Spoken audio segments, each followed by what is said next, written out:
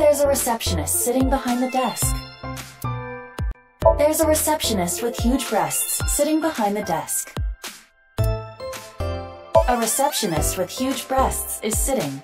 The big titty receptionist. Big titty. Titty.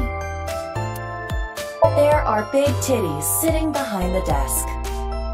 Are you malfunctioning?